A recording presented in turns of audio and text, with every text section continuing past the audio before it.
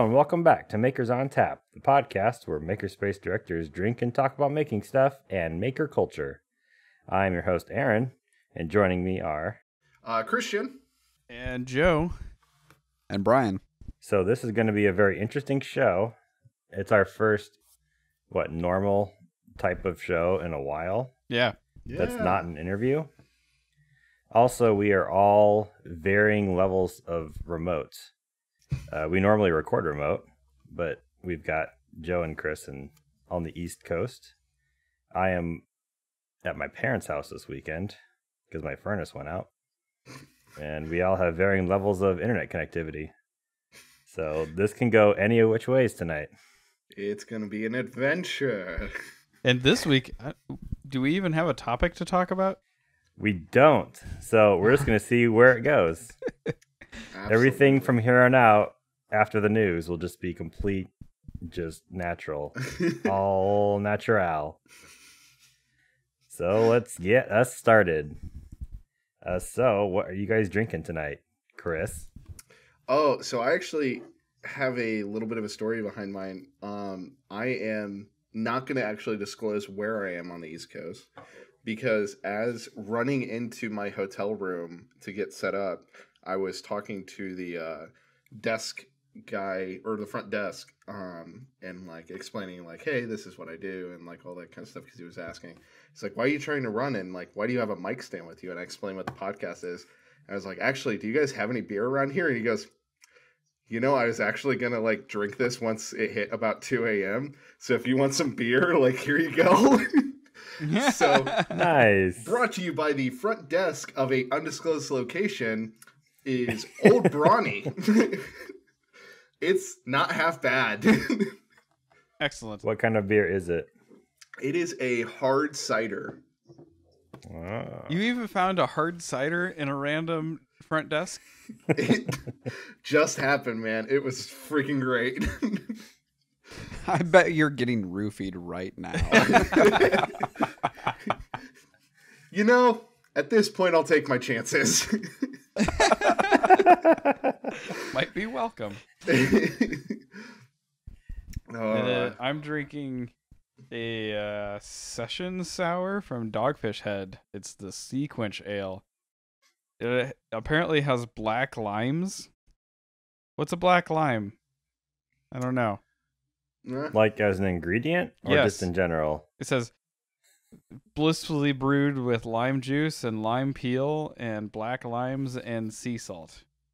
Oh, black limes. Black limes. I heard not black, limes. limes. That would be weird. uh, Yeah, I'm like, as an ingredient? apparently it is Or like in general. dried normal limes. So when you dry a lime and then you mortar it, you get black limes. All right. Like the like the explosive mortar. yes. You shoot when it, you, you shoot shoot it it out out of of the the cannon, then you get black lines. The the So it's really just all charring, the gun.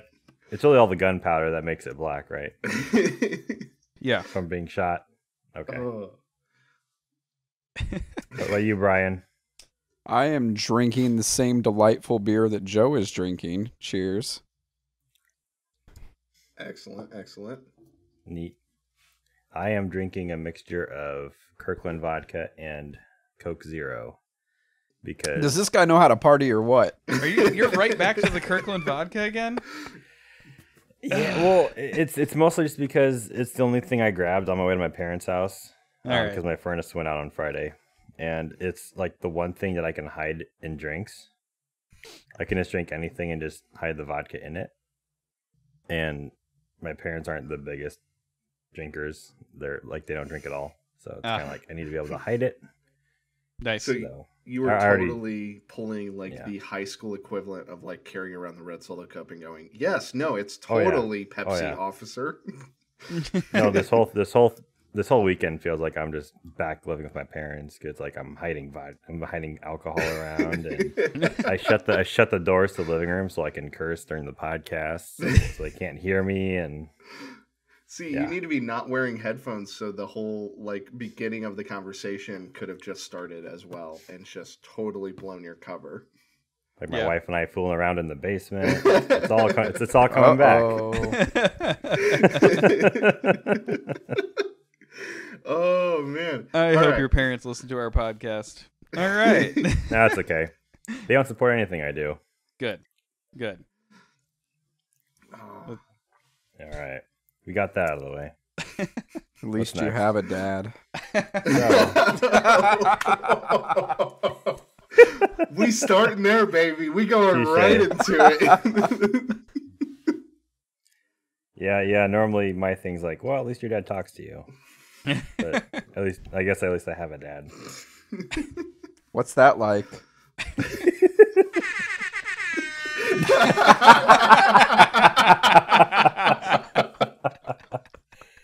Damn it. oh, oh shit. This is gonna be interesting, baby. It's gonna be a fun one, boys. Strap yourself in. We're either gonna I pr- gain a ton of followers or lose all of our subscribers. Nope, you episode. You are I promised myself I wouldn't clip this tonight, and I already clipped. oh man. that's okay. Okay. All So the next segment we usually do is the news, and I have a couple lined up. I don't know if any of you dinguses actually went through them. No, sure. totally All right. didn't. You- Well, um, there's a guy named named Daniel Tartaglia. He made a really awesome, uh, cheap and easily sourceable uh, parts tumbler out of an old PC fan, oh, where he drilled a hole in one of the fins and put a little bolt in one of the fins, then attached it to like a plastic Tupperware container that had a locking lid, and then suspended it on some springs with some rubber bushings, and so then that way the um, out of balance fan would um, vibrate the Tupperware enough that if you filled it with like I don't know what you fill it with the walnut pieces. tumbling media.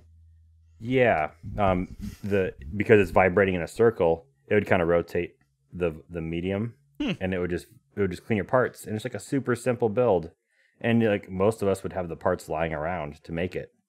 And it was just a really awesome um, thing, and Hackaday did a, did a whole article on it. So Oh, nice. that's the first article. I'm glad we had this great discussion over it. Yeah. So the second one is Apply- Applied Science channel on YouTube did an awesome video on some electroluminescence paint, and I know I I, know watch Joe that. watched that. Yeah, And that is Um, super cool.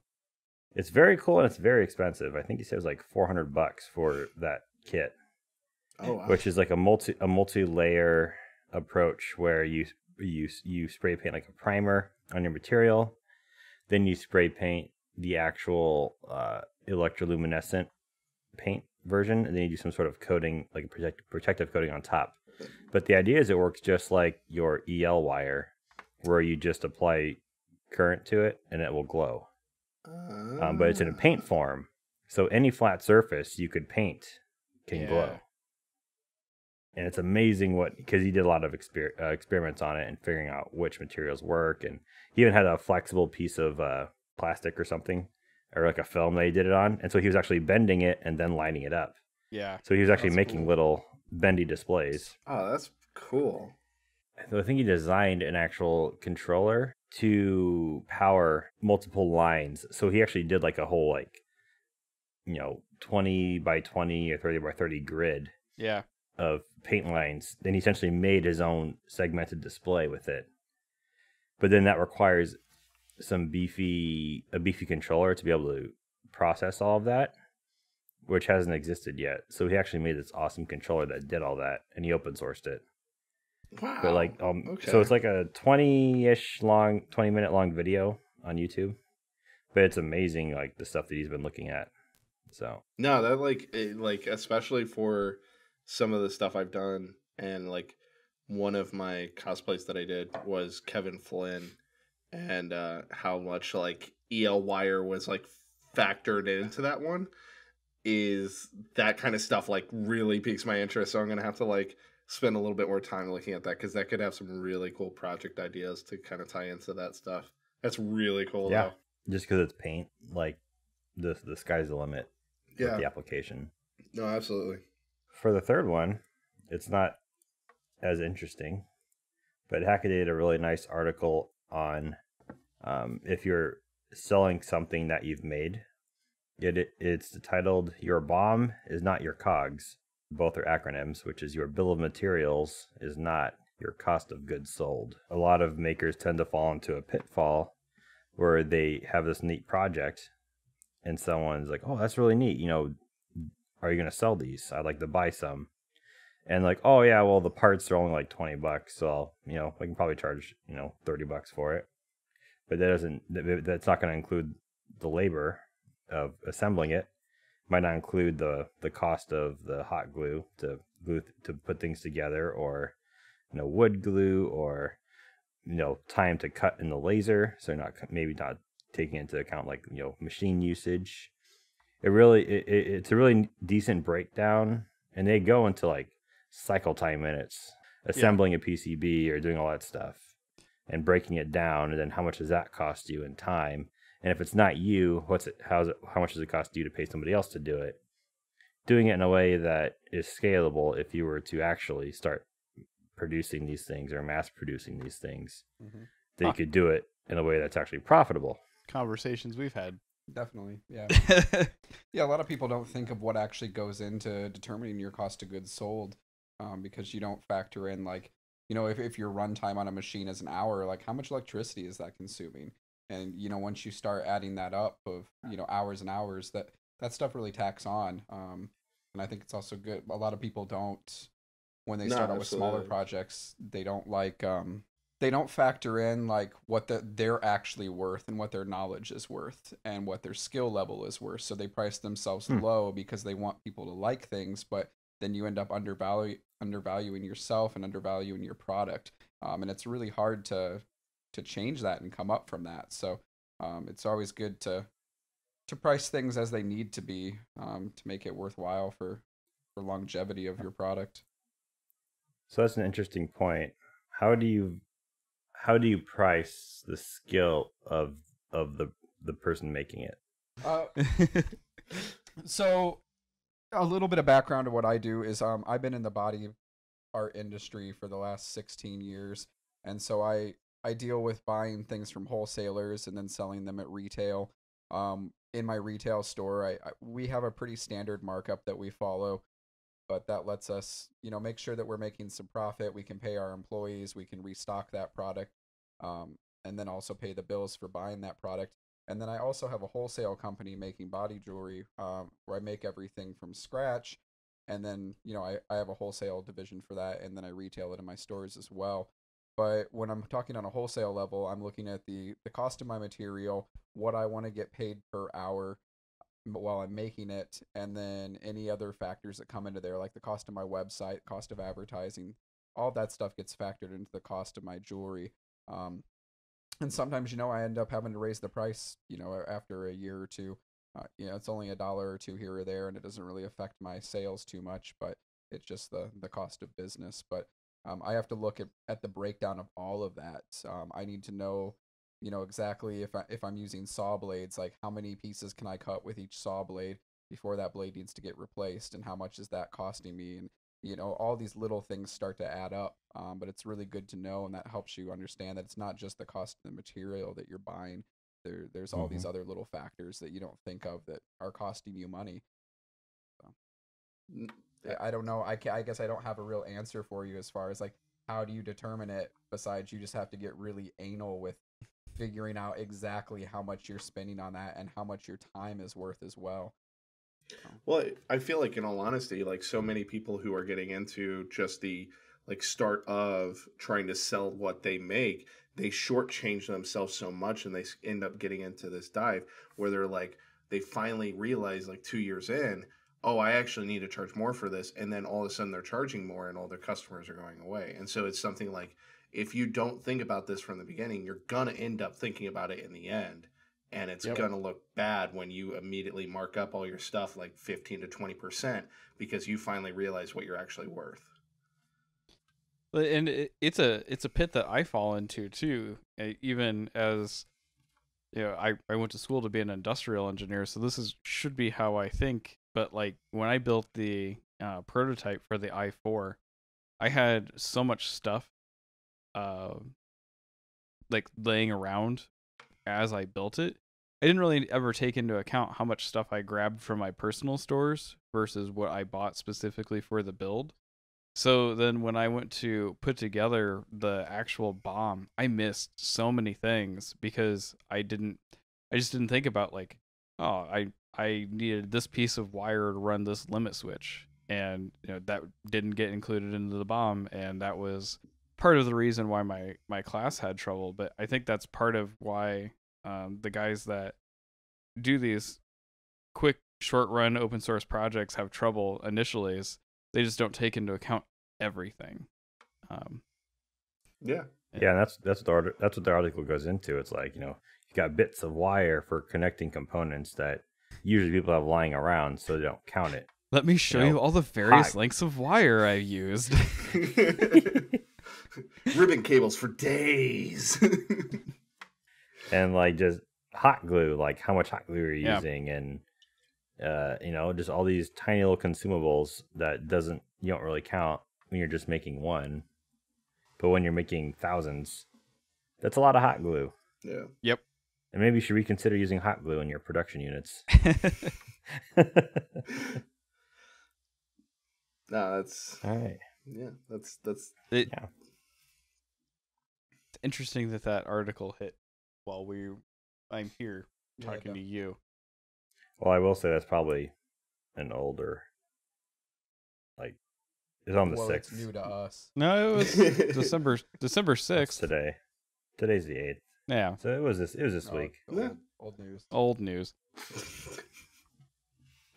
Yeah, we've got the stalest maker news. Stale Two days news. old.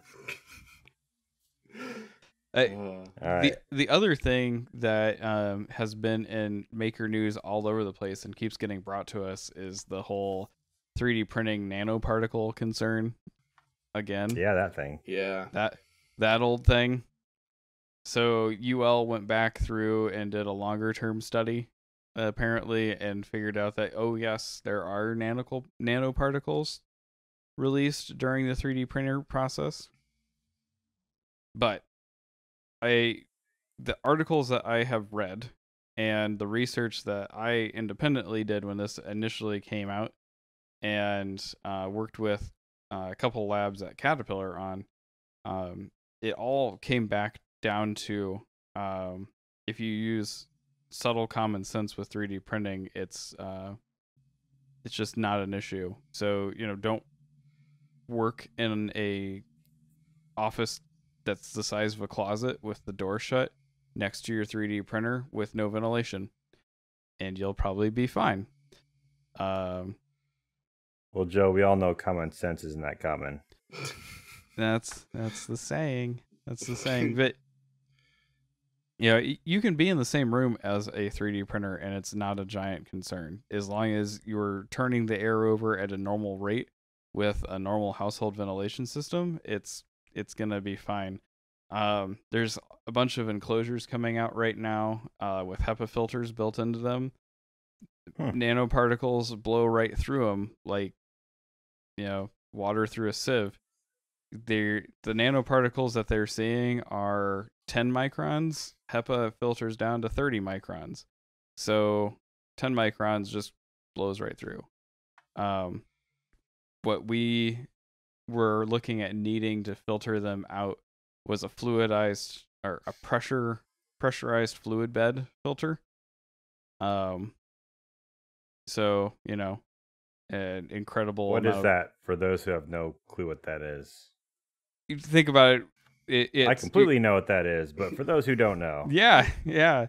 It, it's yeah you're actually evacuating the air pressurizing it and then shoving it through a fluidized bed of filtration media uh that can capture that those 10 micron particles and then you know, release it back through I've got um, like three of those sitting around my house right now. I mean, doesn't everybody? yeah yeah it's like twenty thousand. Oh yeah. for one of them I have Uh, so many of those my hotel room has one sitting right pressure next to me. yes No, it, Um, it's it's something that like I I think we see like every it, it it feels like every six months where Yeah. a new study comes out that is this is what you should fear about 3D printing. And It- if you really look into it, if you really deep dive the actual data and you actually look at what you're what you're reading, a lot of it comes down to just don't be stupid. Like it, Yeah. all of the fire stuff, all of the like Oh yeah. um chemical Oh, in the gee, thanks. I'm cured. yeah. it's it's just like don't just read and like 90% of the time you'll be fine. Yeah, with with the nanoparticle thing, if you cook with Teflon pans and sit in a room with new carpet, or cook on a grill, or uh, smoke, or stand next to somebody who smokes, or stand next to a campfire, or you know any of these things, all of those are significantly worse for you than being next to a 3D printer. So Hey, smoking is great for the environment. yes, yes, it is. It, it, it kills the fast- environment's greatest threat. We talked about how cast iron pans are just Which is us. Cast I iron, yes, cast iron pans are superior in every way. Okay. Yes, They are very Yeah. much. I think we can all agree on that. yes. Good talk. oh man. Yes, so I, I know which article you're talking about, and we'll link that in the notes too. Yeah, Because I think somebody posted it in our Slack channel somewhere. multiple Mhm. times. And Yeah. then, you know, I've been sent it multiple times lately and they're like, "Did you know that what you're doing is dangerous?" And did you so it actually got it got uh, published to the the Caterpillar like the hob the maker uh, Yammer group. Yeah. And someone's like, "Oh, I've got a someone's got a printer right next to my desk, and I'm gonna have to talk to HR and all this stuff." yeah, I'm we like, already did "That's that. not- We already did all that. You're fine. But I these VOCs. I personally did that. You're fine. Um oh, great, Joe did it. I, I'm, I'm so, I feel so protected now. Good. oh man. You should feel Yeah. protected. Yeah. Okay, so that was the news. Um, let's see. Um, as far as We have lost our rhythm. We had a far- great rhythm, and then we were like, "Oh, we should do some interviews. Interviews Yeah, would be fun." really, The interviews were fun, and then Well- they screwed up our rhythm. I mean, it, it's half we've lost our rhythm, and it's half like there is a little bit of lag, and it's just like a second of waiting. Like, wait, Yeah. uh, okay, okay, and it like Yay. so. If this episode comes off a little bit where it's like not our norm, it's because we are truly testing out the actual remote capabilities of what we're doing, and we're just still getting used to it. We're like, please give us patience. We're only Eh. what less than twenty episodes in. Uh, yeah. So we're If you still don't like it, just go back and listen to one of your other favorite ones. Or Yeah, Come back next week. It's fine. it's fine. Or let us know how to do it better. absolutely. Yeah. absolutely. So uh, Somebody on the internet knows how to do it better than us. For sure. yeah, cause, yeah, because we're idiots. Boy, are we. Brian, do you know how to do a podcast better? Obviously. So for th- for the next segment in this loosely structured episode, um, I was I was thinking we could have uh, Brian do a quick background on what he who he is and what he does, and because he's our he's our first non non company guest co-host. So I just figured I'd give him a chance to say who he is, what he does, why does he do what he do. I don't know. I'm I'm I'm tipsy. Once again, So- Aaron ruins the episode. Brian, who are you? I'm Brian. Um, I'm Brian Thomas. I have been in the body art industry for about 16 years now. Um, I know, right? I'm old as so old, ridiculous. Um, I own a studio in Knoxville, Tennessee called Born This Way Body Arts, and I have a wholesale jewelry company called Jewelry This Way. As you can see, there's a little theme there. Uh, what else do I do? Um, I've been body piercing for 16 years, been tattooing for six years. Um, now I am a glorified accountant and manager of a big staff, and we're in the process of opening up a second location, which has been just an absolute nightmare of purchasing a building, renovating a building, all that good stuff. Uh, what else is cool about me, Joe? Uh, you briefly did like glass jewelry and wood turning and like Yeah, I did make stuff. I, I started out making glass jewelry, and then I found out that glass gets real hot when you make it on the torch, and I kept burning Huh. myself. Funny how that works. And um, although I jo- I don't mind the sensation of burning myself that much, which is super weird, and we won't get into that. Um, I just was really bad at it. So, um, in a fit of rage, I sold all of my glass blowing equipment and I went to Woodcraft and I bought a lathe and uh, I started making wood jewelry. So that uh, that company was called Good Enough Organics. Um, with the tagline, it you know doesn't have to be great; it's just good enough. Um, I never got super good at it, obviously. Um, but one of the issues that I ran into is, you know, making handmade uh, jewelry like that out of wood, which what I was making was like um was large gauge ear jewelry or gauges as people call them some days or Those are- plugs yeah. um whatever just so you have a reference for what i'm talking about but with that you know it, i would put in an hour or two making a pair of of earrings and that's you know from from chucking everything up and carving it out and then the sanding and the polishing process and everything it, it was labor intensive and um, i enjoyed doing it but what i found in the selling of it is that i could buy a finished product from overseas cheaper than I could buy my raw materials in the states. And so having to compete with that market and you know y- your customer base that wants to buy artisan jewelry like that is small and most people that want to buy, you know, at least at this time that wanted to buy wood jewelry when they can just buy something that looks very similar for $10 online, why would they want to give me 80? So it was nice for my local clientele because they would want to support me but as far as scaling it, it it didn't really make sense with the way things had been outsourced at that point uh, which led me to you know kind of abandon that and at that point i just focused more on actual piercing and developing that that trade um, and then it took me until up until i guess three, maybe four years ago, where I started to see a niche in our market um, with gold jewelry, which become very, very popular. When I started out as a body piercer, you know, it was just about you come in, you get a piercing. Do you want the ring or the barbell? And now it's developed into this very high end, um, like business, I guess, where we're we're selling very nice jewelry made out of gold with fine gemstones in it, and we have you know people leaving Tiffany's to come and make body jewelry now. So we're getting all these great designs, and you know this whole new market of people want to get piercings, and my- my studio is just busy every day, and it's it's people you would never think would want to get body piercings, but they're drawn to it because it's just another place for them to wear a cool piece of jewelry.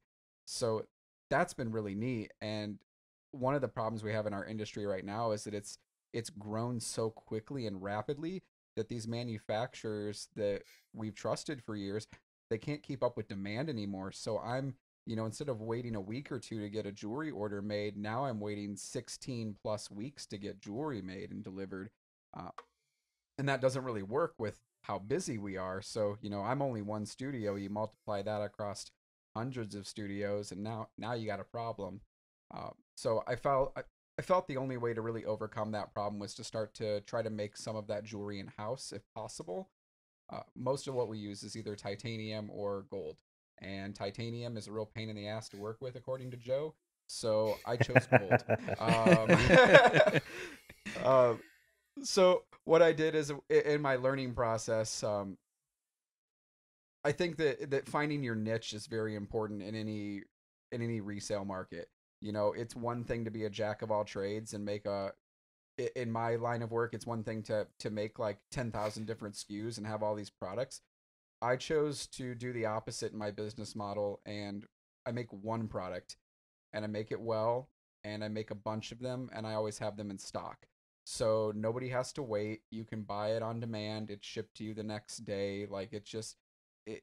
I, I just dumbed it down. Um, and it's grown very nicely over the last couple years, and I'm pretty happy with the success. And now at this point, now that I have my, you know, I have my supply caught up to the demand, it allows me to branch out now and start experimenting with you know a few other designs and kind of branch out in the creative aspect of making jewelry, which has been nice. Um, so yeah, that's my journey in making jewelry. So, as a piercer, have you done much? Uh, have you have you gotten any requests for like biohacking stuff, like the magnets in the fingers, or anything else in that vein? I love this topic. so, yes, I have gotten requests for it. Um, due to the licensing in the state that I am working in, I cannot perform any of that work. Um, when it comes to anything that's implanted under the skin, my state defines that that it's not a piercing regardless of the method of how it's put in because a piercing needs to have an entrance point and an exit point. And if I'm implanting something into somebody, it has an entrance point only and no exit point. So Interesting. I'm banned from doing it, unfortunately. It hasn't stopped me from getting those things, though, and I have gotten many of those things. So, uh, Oh, Tell me, like tell your me, tell I me. Like look on your face right there. That was awesome. You're like, oh, this is awesome. So- I'm really into this stuff, and I, I just haven't. I don't know if there's anyone in the area that does that sort of thing. So I'm like, I've been really interested to look into it and maybe do some of it. Um, so I had a magnet in the side of my hand, and it was put in with a standard piercing needle. Um, it hurt like holy hell. I don't recommend it whatsoever. And the the magnet was put in. Um, I had it in for probably about two years. I was really excited about this magnet. Like I had wanted one for a long time since like the initial articles came out about them. I was so excited to be able to like feel magnetic fields, and I was like, "This is gonna be so cool." it was the dumbest thing I've ever had. Uh, the only thing that I was able to tell was if my hand was touching something metal. so, like, if I'm sitting at a metal table, I'd be like, "Oh, my hand is stuck to the table." or if I'm, I'm pushing a shopping cart, I'd be like, "Oh, my hand is stuck to the cart."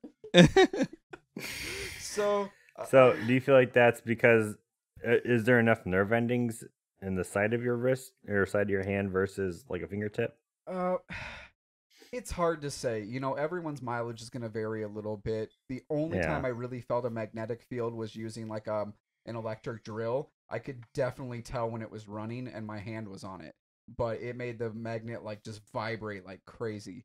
But you know, obviously, I knew the drill was on and that I was holding No. it because I was holding it and it was on.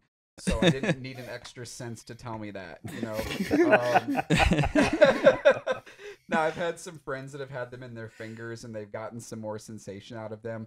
I personally didn't do my fingertips because you you run a lot more risk of nerve damage and if there's a large percentage of people that have these magnets put in and the coatings on them end up breaking down and then Right. the body tries to destroy the magnet and then the removal process is just it's you know trying to get somebody to dig little metal fragments out of the inside of your finger just sounds like a really terrible experience to me so i opted out of not destroying my money makers and just putting in the side of my hand Ah, What kind of coating does your magnet have?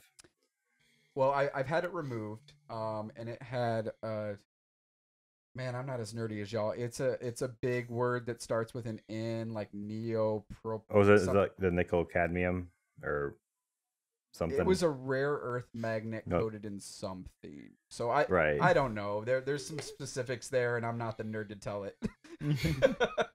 from, from from the stuff that I've read, you know, it's so it's your it's your neodymium magnet, there you go. um, neodymium, and then they coated it in I think nickel, and then they did gold plating for some. But then the gold plating, it's really dependent on the quality of the plating. Yeah, this one was like a uh, a thin, like I think almost like a Teflon style coating.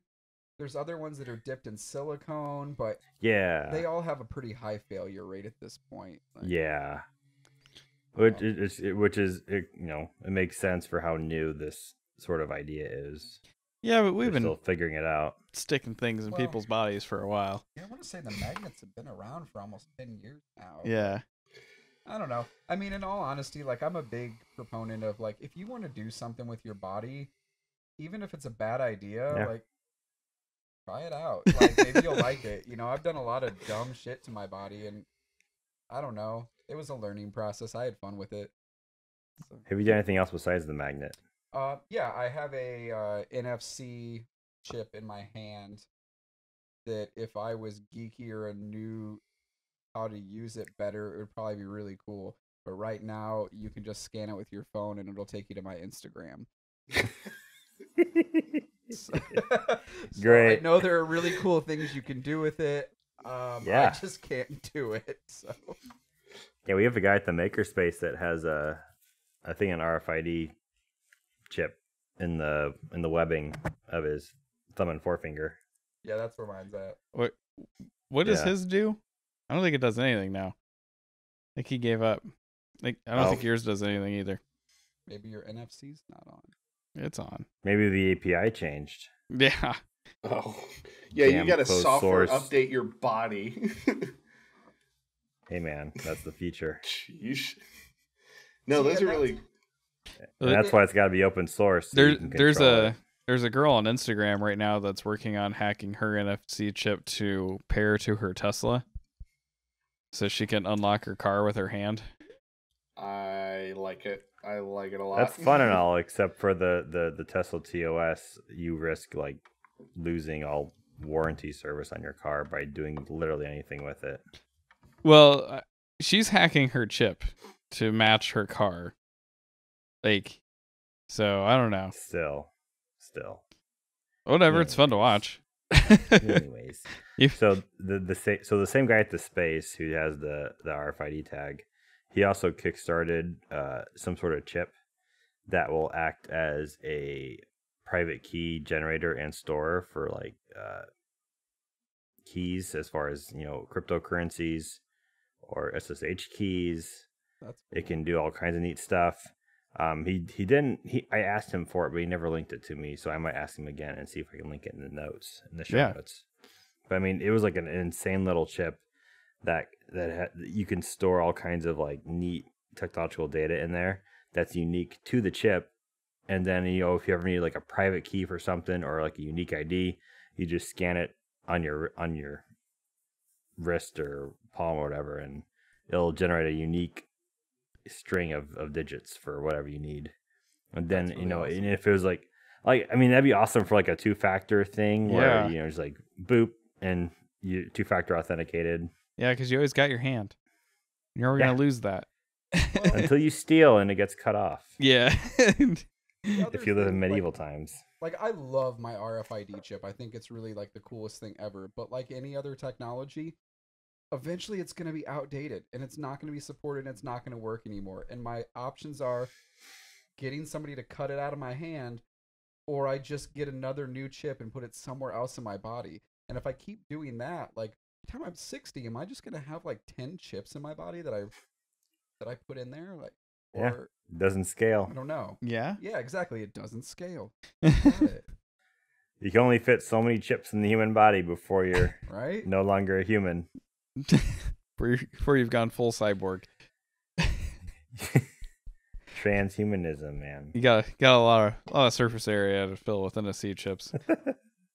You'll be fine. So maybe we need a need to figure out instead of figuring out chips that will that are like biocompatible chips, we need biocompatible technology storage. So know. it's more of it's more of a storage compartment in your body. Oh, And then and then you can replace the shit inside of it. people have done like weird little, weird little stash pocket things. It's Yeah. a terrible idea. yeah, uh, with all that stuff, you know, I feel like it all needs to be open source because if not, it's gonna be, it's gonna be a shit show Yeah. if corporations control the stuff that goes in your body. All right, Anyway. that conversation came to a natural close. Sorry. Yeah. Um, so Bryan, was there anything else besides the magnet and the chip? I mean, have you gotten any other requests as a, as a, as a tattooist or piercist? for any of that stuff, no. I don't really advertise my. I mean, I don't do like anything outside of piercing and tattooing. I don't do heavy modifications or anything like that. And most people that are after that kind of stuff seek out those types of practitioners. Um, so it's not really in my my list of services that I offer. I guess. How much how much does it cost to get licensed for that? Because in your state, you said you need a licensure for it. Well, licensing to do piercing or tattooing is about 150 a year. There is no licensing that will allow me to do things like heavy modifications. All that stuff is primarily done underground and under the radar. Ah, okay. There are other states though that have like like my NFC chip came in um a preloaded syringe, so basically it, it's exactly the same thing as like what they're doing to microchip cats and dogs and stuff like that. There are other Yeah. states that have different wording on their laws to where it's completely legal to do those things. Uh, doesn't mean that every piercer should be out there putting microchips in people, but um, it is something that's doable, and you know, it's gonna just gonna vary from state to state. My parents would call that the sign of the beast. Yeah. no, I- that's the. I would agree with them, but that's a cell on my own phone. accord, so. That that's what I tell them whenever they hear the chip thing. I'm like, you're carrying a smartphone, right? Yeah. Every- Everybody is, is is wanting the smartphone that can track you and listen and identify you and Yeah, running down that rabbit hole again. you're already you're already you're already holding that, Pastor. What are you talking about? I had a dream the other night that I had a flip phone. It was awesome. Ruffled enough feathers. Let's see. Do we have any makerspace news besides the fact that Joe and Chris are stepping down, Soon. tired? I already have so many ideas on how to be a pain in the butt member. It's gonna be great. I'm excited. I'm ex- I'm excited to be like Joe. You're just a member. no, it's gonna be great. You hold no power here. I I am very very excited to uh focus on Makerfest next year without focusing on running the uh maker space. I think that'll be great because I really have no real interest in running Makerfest. Yeah, I just want to see it. I want to see it do better, but I also would rather focus on the makerspace Yeah. personally. So I'm So looking think forward that to can Be a that. great synergy. Well, we're we're headed towards the our 45 minute mark. And Or really, yeah. And I think we Well- ju- just lost Chris on the Discord call. So yeah. His, hi- he was having audio issues. so you want to go ahead and call it? I think we could. All the all the discussion was great. Yeah. Interesting. Yeah, anything to add? Um, I'd like to thank you guys for having me on today. It's been a pleasure. I've had a really good time. Uh, the drinks were delicious. The company was even better. Aw, It's been a good day. We went to Knife Works and bought a twelve dollar crossbow that fell apart after like ten shots, which was fun. Like Yeah, it well, that's why- exploded apart. that's why I don't. That's why I don't spend twelve dollars on a crossbow. But man, it was fun and it did the I'm first no crossbow. shots. I'm not a crossbow expert, but We had fun, and we shot a can with a BB gun yeah. In the yard. that was pretty great. No one shot their eye out, so I call it a success. what are you? What are you? Twelve? Yeah, Yeah, kinda. When I come here, I'm 12. nope, we got Chris back. Welcome back. You got anything to add Sorry. to the episode? Yes, no, absolutely. Um, the number 42 is the best above all, and that is the answer to everything. There you have it. I don't get it.